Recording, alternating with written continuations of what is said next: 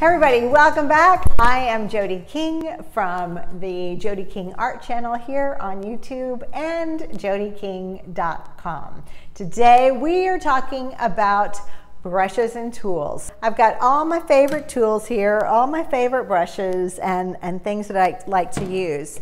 And the reason they are so important is not just because we like to have all the things, although I do like to have all the things, just no not playing, I do.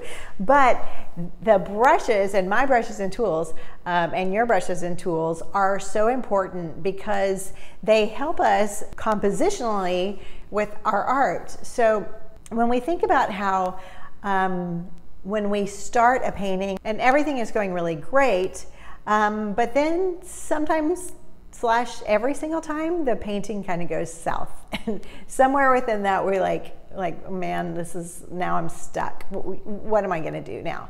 Well believe it or not your brushes and tools can go a long way to getting you unstuck. And the reason is that 90% of the time uh, when we are stuck or we get into that place in our work um, we're stuck because of two things. It's either because of, well, 90% of the time, it's either because we are having trouble with composition or we're having trouble with values. So, in my workshops that I teach, and also on the online courses that I do, and then we have a private Facebook group so people post their work and I can help them out with it. Um, but 90% of the time, what I see, is the people are stuck because of composition and values, and your tools can really help you getting unstuck compositionally. Okay, so why is that? Number one, compositionally, it's important to have thick and thin lines in your work. So tools that are smaller like this, um, they really help to give us those those thinner line qualities, right? So you'll have brushes like this and then you'll have the thicker brushes, and those will really help give us that dance of opposites, the thick, thick versus thin. Now, my favorite um, paintbrushes in this size. The brand is called Black Diamond. I've had these for years.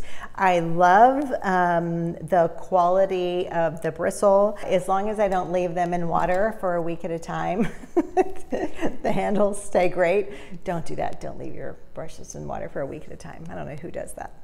Anyway, Black Gold. The name is Black Gold and their diamond series. So my favorite are black gold diamond series. Then in terms of the larger brushes that I like, um, I always buy my larger brushes at hardware stores because they are just so expensive um, at the art supply stores and I find that that's really not necessary.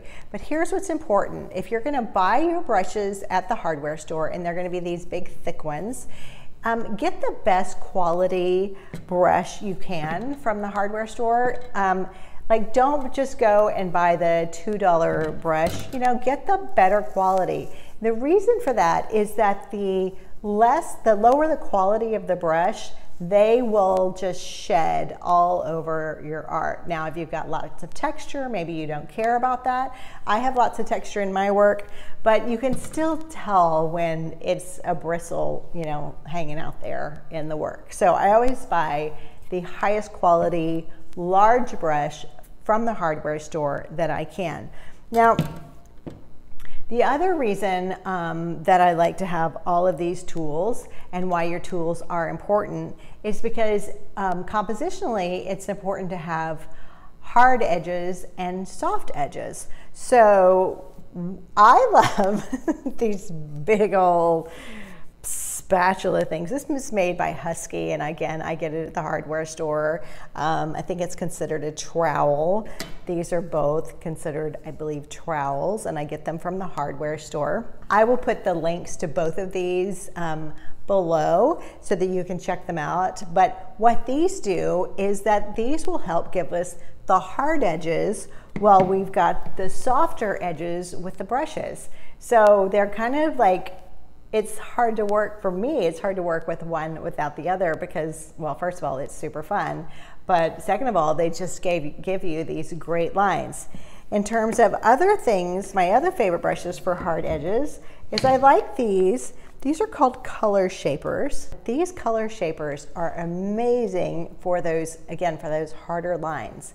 But not only that, compositionally, another thing that it's um, that we want to have in our work is we want to have those loud statements and also those quiet statements. So what these color shapers can do is we can go to the work and if the work is not, if the paint on the painting is not fully dry yet, we can just take this and remove some of the paint so you have some places that you can see through it and it's a little softer, it's more transparent, and other places where it's very opaque. So these color shapers really help to remove paint where we don't want them and also to apply paint where we want those sharper edges. So that's cool. Now, one of my other favorite tools is actually just a little sponge brush. Um, again, it's for the same reasons. It's because sponge, sponge brushes will give you a different line quality that some of the other tools like you know, just regular brushes um, like this or these thicker brushes.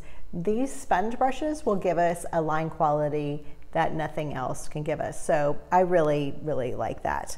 Um, and then what happens when you get a brush that looks like a bedhead? These bedhead brushes are actually my favorite, favorite way that these, it's just my favorite. I don't know, it's, it's just my favorite. Let me tell you why. Because when you're painting with this end of the brush and you're painting back and forth like this, you have a certain stroke. But when you just dip the paint a little bit with this and then you just rub it along the painting, it creates the coolest effects. I'm going to demonstrate in a minute. I'll show you what I'm talking about. But um, yeah, it just creates the coolest effect and the coolest lines and also like some really, really cool blending. So we've got We've got my black gold Dynasty Edition brushes. We've got our um, scraping and spatula tools. We've got our color shapers. We've got our sponge brushes and we've got our thicker brushes. These are the brushes and tools that I absolutely can't live without. So I'm going to do a little bit of demonstration with the brushes now and you can see how they uh, do their thing. Okay, now that we have seen what all the tools are, let's put them to work. So the first thing I'm going to start with is a big old, big ass, fat hardware store brush. I'm just gonna get some paint on the canvas. This is a cheap old canvas just to demonstrate. Sorry about the little dent in it here. Don't just pretend it's not there. All right, so I've mixed up some paint. I've only got, uh, I took two colors and I made like a bunch from it. If you want to see more about how I mix colors and uh, how you can use colors to get unstuck, head over to jodieking.com and check out my color course. I have taken two colors and I'm gonna show you how through the use of our tools, we can really make an impact. Let's hope I don't mess it up. All right, so I've got just this light blue here and I'm using this big paintbrush and just really basically to get a lot of paint on the canvas at one time and you can see, you know, it kind of creates this really soft look. So now what I'm gonna do is I'm gonna take the big old trowel that I like to use and I'm gonna get some paint on it and you'll see it's just a very different it creates a very, very different look. And you never quite know what's going to happen, honestly. But is pretty stinking cool. I mean, actually not being able to control it is one of the coolest parts of the whole thing. I'm gonna get a little bit more on there. And you can see you've got this really softness here and then kind of some cool stuff that's going on uh, in the rest of it.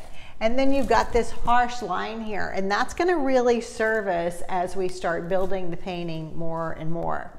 Now, when we talked about uh, thick versus thin lines, um, which is super important composition, we also talked about our uh, little bed head brush here. Can you see this? How fun is that? I have woken up so many times looking like this. All right, so when we have this bed head brush, and you know, I also have a bigger one, got my bigger bed head, and you know, if it hasn't, if it's not splayed out enough, you can always splay it for you. But you can take your bed head brush and just kind of look, just kind of make these cool, very cool lines in here. You can take them all over the painting. You know, and again, you're not quite sure what's going to happen, but it creates the coolest effect. All right, so we've got the bed head, we've got uh, the big old fat brush. Um, I want to talk um, just a minute about um, the louder conversation, soft and loud um, within our paintings. So let's say that we have something underneath it like this, right? That we've got some sort of mark making on the painting. So we've got some mark making and we want to see the marks, but we don't want it to be just this really loud voice. So here, the values of it, it's, it's a pretty dark value compared to the other things, but so we just want to quiet that down. So we've got our color shaper. We're going to take a little bit of our color here. And with our color shaper, see how we're able to use it and we're still able to see some of the color through it, but we're able to take away as much as we like and we can still see it. So this is one of those tools that kind of can quiet the conversation. Additionally, it can give you those sharp versus soft edges. So we can use it to go back for a sharp edge, just like that. So, oh, and it can create such, such cool texture. So that's our color shaper. Now the other thing we talked about was thick lines and thin lines. So we've got some of these thicker things here going on and you can always use your small brush and just to create some other things that are working. I like to hold it kind of towards the end of the brush. That way it just, again, less control, more organic, much more organic lines, doesn't feel nearly as contrived. So we have that. And now let's get our big old stinking trowel here and see what we can create. So I'm gonna just put a, just a little bit of paint on it. Yeah, like that. And just go for it. Never quite know what's gonna happen, do we? Oh. Create some very, very cool mark making. So, again, I like a painting and I like a tool that you cannot completely control because it just creates more interest and a lot more fun. So we still have our, um, our uh, sponge brush here. We can go back in and do some blending here and there, soften up some edges. Like that. Yeah. So there you go. Those are all my favorite tools. I hope you liked them. If you like what you see here, please like and subscribe to the channel. Check out all of the tools uh, down below and definitely go follow me on Instagram or check out Jodie, jodieking.com. Take care. Peace out.